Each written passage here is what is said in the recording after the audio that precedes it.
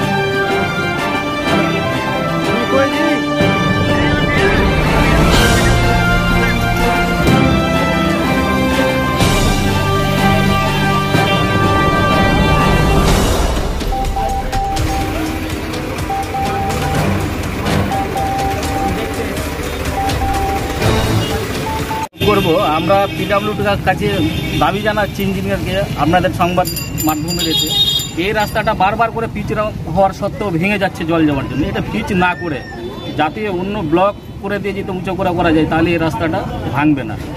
আর তার সাথে আমরা যে জবটা একটু জিপির পক্ষ থেকে যে এসছি মেম্বার হিসাবে তাতে আমরা যেমন যারা এখানকার লোক বাস করছে, তাদের যাতে অসুবিধা যেমন না হয়, যাতে পাবলিকেরও অসুবিধা না হয়, আমরা এরকমভাবে কাজ করি, এই প্রতিশ্রুতি আমরা মানুষকে দিচ্ছি। ব্যুরো রিপোর্ট, চব্বিশ ঘণ্টা লাইভ